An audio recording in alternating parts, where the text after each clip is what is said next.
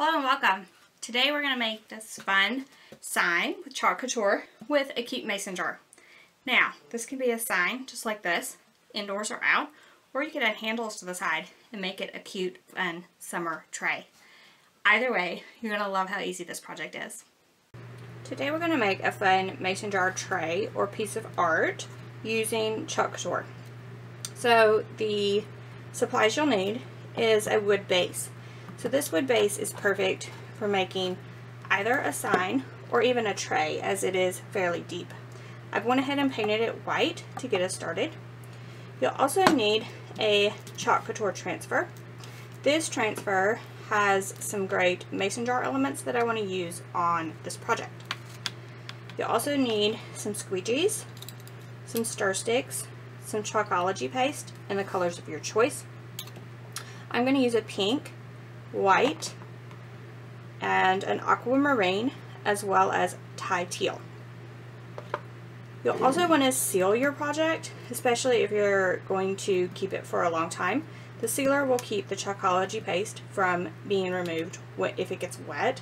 So I would recommend this sealer finisher for like an art piece. Now, if you're going to use this as a tray, you might want to go one step further. Maybe coat it with a couple coats of poly or even an epoxy resin.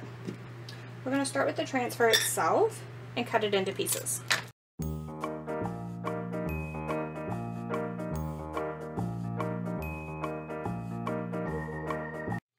this is a very large transfer, but you just cut it along the cut lines into the pieces you need. I think I'm going to use the Squeeze the Day as well as a mason jar full of pink lemonade on my project. Now the rest of these I can put aside and use on a different project. Well, I'll be showing you how to clean these pieces as well as we go through the project so you can use these over and over again. First, let's get an idea of how we're going to lay out the design. You can do this however you would like. The beauty of the transfer is that you can mix and match and use it for a variety of projects.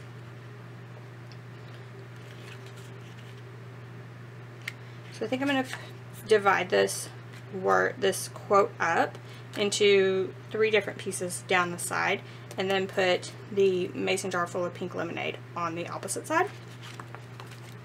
So let's start with the mason jar.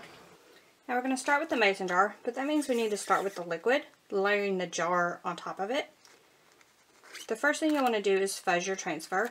When dealing with surfaces like wood and other hard surfaces, just stick the transfer to an old bath towel to pick up a little bit of fuzz on the back. This is just so it will not stick too much and you're able to easily remove it later. Now, you just stick this down to your surface, ensuring that there are no bubbles. I like to use a squeegee to go over the transfer, just making sure it's adhered well want to make this portion pink. I want to make it look like pink lemonade. Now, there is a bubblegum Chalkology paste, but this is a little bright for pink lemonade. So we're actually going to mix this with white and create a custom color. When you create a custom color, you will not be able to reuse the Chalkology paste. So be careful of how much you use, as any excess will be waste. Now that we have more of a pastel pink, we'll just apply that. Remove all the excess. And then peel the transfer back up. Now, we'll have to let this portion dry before we can add the mason jar layer on the top. We can put this in water until we can wash it, or we can wash now. While this portion dries, we can move on and do some of our quote. So we're going to do the squeeze portion at the top. There is portions that I do not want to use on this first application. So first of all, I do not want to use the V or go past the squeeze. And I'm also going to leave the quote marks off of this project.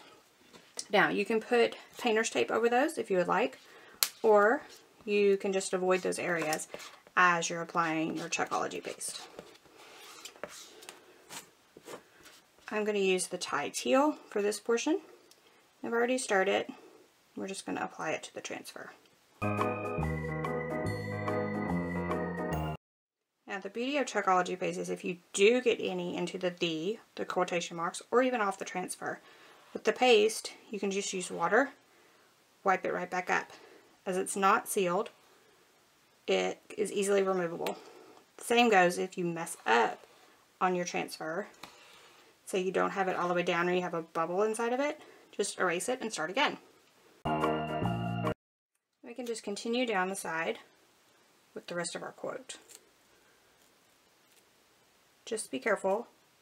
Since this Chalkology paste is still wet, do not apply the transfer over that portion.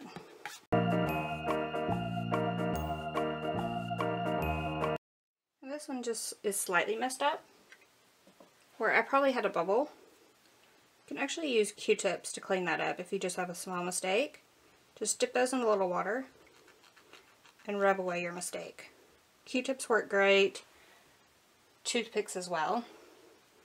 If I had a larger mistake, I could definitely just erase the whole thing and start over.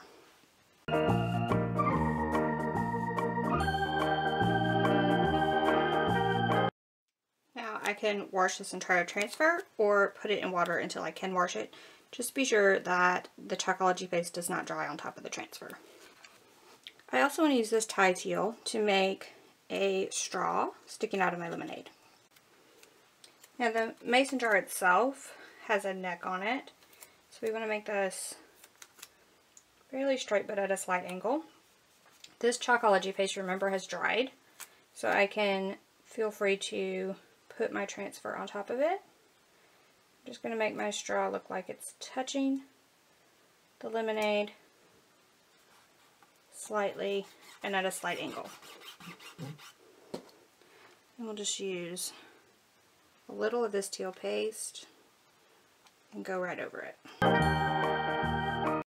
Once this portion is dry, you can apply your mason jar. You can speed up the process with a hair dryer if you would like. And now we just need to get everything perfectly aligned with the elements that we already have on the board. We're just going to use this aquamarine paste because it really reminds me of the color of vintage mason jars.